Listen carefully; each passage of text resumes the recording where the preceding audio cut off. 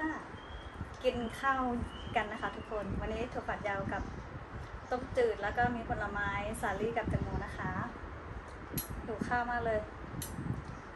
กินข้าวด้วยกันนะคะอืมชื่นใจ ต้มจืดแตงกวานะคะ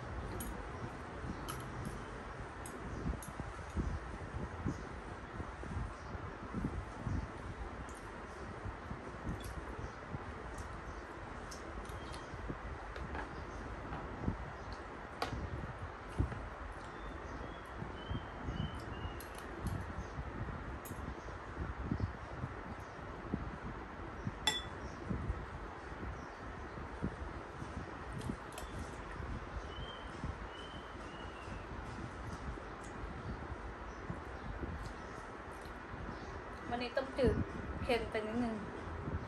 ไม่เหมือนต้มจืดแล้วค่ะ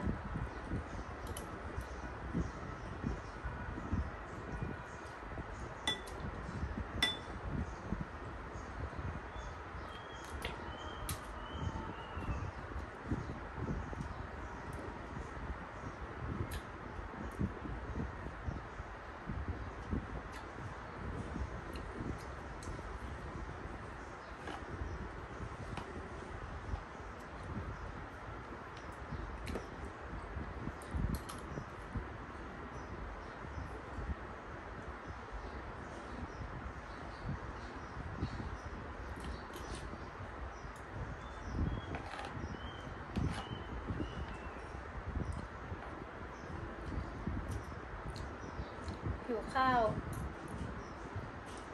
ถ้วยจานเบอเริ่มเลยจะกินหมดไหมเนี่ย